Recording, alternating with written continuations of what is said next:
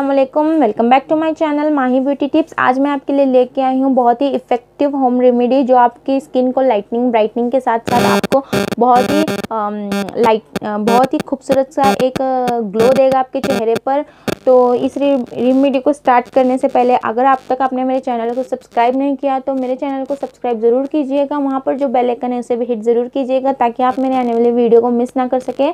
तो without wasting any time let's begin with the video यहाँ पर हमें चाहिए सिर्फ़ तीन इंग्रेडिएंट्स जो हमारे स्किन को ग्लो देगा साथ ही लाइटनिंग और ब्राइटनिंग का भी काम करेगा।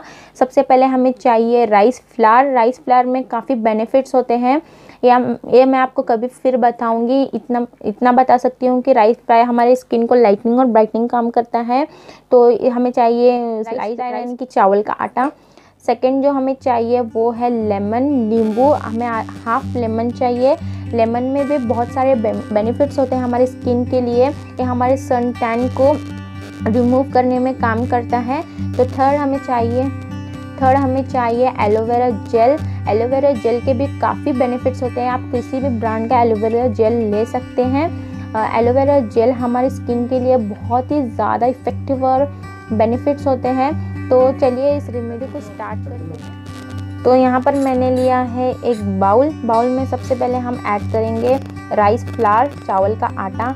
हमें अपनी क्वांटिटी के हिसाब से लेना है। आप अगर आप इसे जब आप इसे यूज़ करते हैं, तभी आपको बनाए, बनाएँगे तो अच्छा होगा। अगर आपको स्टोर करके रखना है तो आप इसे फ्रिज में भी स्टोर कर सकते हैं इस रेमेडी को।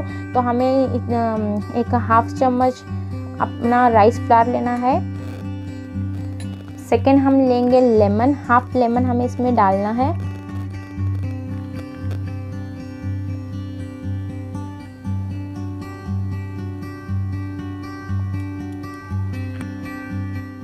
थर्ड हम लेंगे एलोवेरा जेल एलोवेरा जेल को हम हाफ़ टेबल स्पून लेंगे.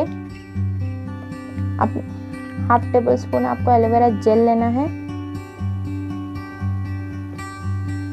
आप और इसमें थोड़ा सा हमको वाटर ऐड करना है, यानी कि पानी। ज़्यादा नहीं, इसकी हमें थिक क्वांटिटी चाहिए फ्रेंड्स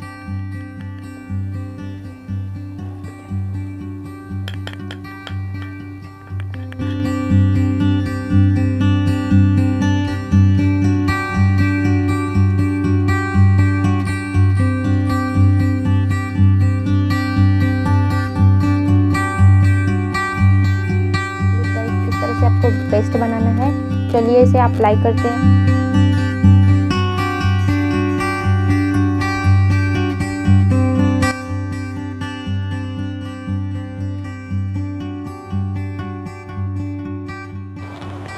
अब इस पैक को अपने फेस पर या अपने स्किन पर लगाना है।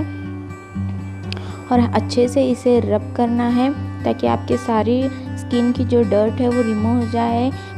आपको वाइट हेड्स या ब्रैकेट्स है वो भी इससे रिमूव हो जाएँगे। अच्छे से इसे स्क्रबिंग करना है। एटलीस्ट आपको पाँच से या दस मिनट तक इसको स्क्रब करना है। अभी फिफ्टीन मिनट्स हो गए हैं मेरा अब देख फेस पैक है काफ़ी हद तक सूख गया है। अभी इसे आप ठंडे पानी से वॉश कर सकते हैं। मैं वॉश करके आपको दिखाती हूँ। गाइज़ आप रिज़ल्ट देख सकते हैं कितने अच्छे से मेरे हैंड को लाइटनिंग करने में काम किया है। रेमेडी को ज़रूर ट्राई कीजिएगा। अगर आप इसे कंटिन्यू ट्राई करते तो रिज़ल्ट काफ़ी अच्छे आते हैं। तो ये था मेरा आज का review hope this video is helpful to you guys अगर आपको अगर आपको कुछ नए वीडियोस देखना है तो आप मुझे कमेंट करके बता सकते हैं। मिलती हूँ मैं आपको नेक्स्ट वीडियो में कुछ नया लेकर. Till then bye